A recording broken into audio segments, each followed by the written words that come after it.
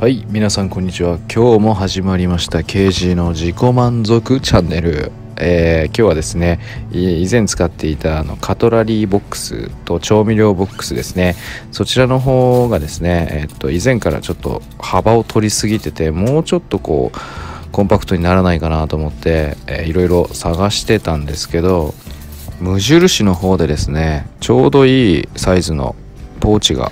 見つかってですねそちらの方にいろいろその無印に置いてある製品を入れてみたところ結構ぴったし合うのでこれでちょっと調味料とか、えー、カトラリーとか入れてみようかなと思ってちょっと買ってきました。それにですね、いろいろ今まであった調味料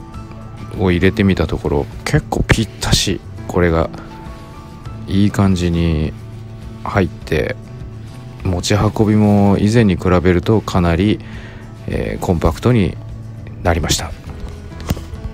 見てください。この大きさの違いとこのスリムさもうたまらないですね。こんだけ、えー、幅を取ってたのがこんなに薄くなったらもうほんと他の荷物もコンパクトにしたいなってなってくるんですけどケースに一体いくらかけるんだって話なんですよね。っていうのもですね私あの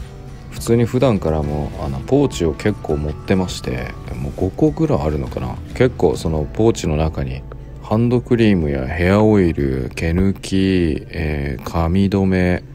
あとなんだっけな。まあなんかいろいろ入れて気づいたらあのポーチが5個ぐらいになっちゃってまあ何の話だって話なんですけどとにかく無印にはすごくお世話になっているっていう話ですね。そんな無印で揃えた、えー、調味料ボトルがこちらになります。1個がですね、えー、な100何十円120円ぐらいだったかなぐらいの、えー、ケースなんですけどそれに、えー、オイル醤油塩などいろいろ入れれるんですけどそれだけじゃなくてそれ以外にも、え、小さいポケットがあってそちらの方にも入れれます。さらにですね、えー、なんか YouTube で見たんですけどなんかストローに調味料を入れるっていう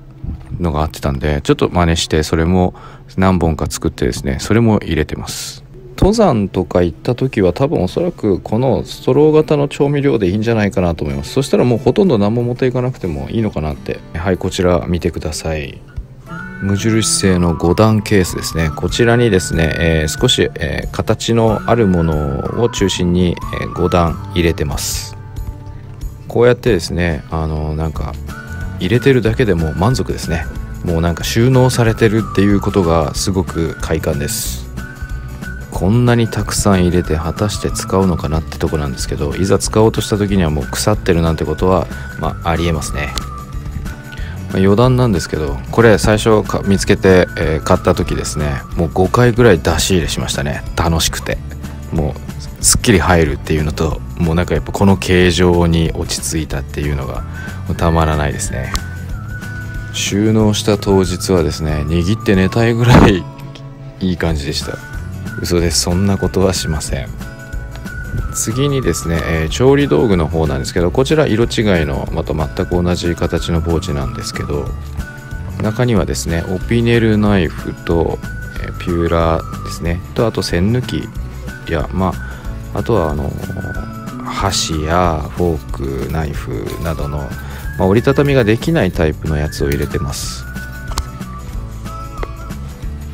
まあこうやってですねそしてあのちょっと並べてみるとその大きさの違いがわかると思うんですけど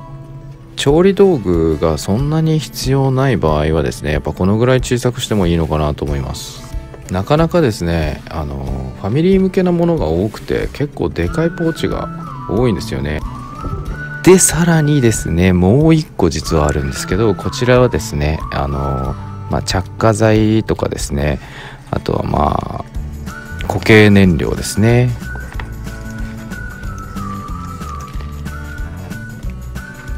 とですね。ワセリンテンダー。まああの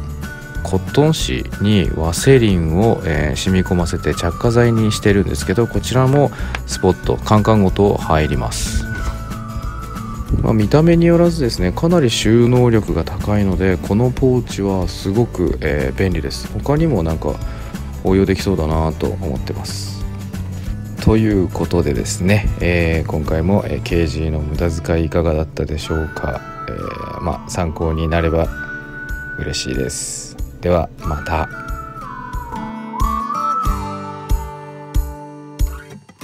あ足しびれた。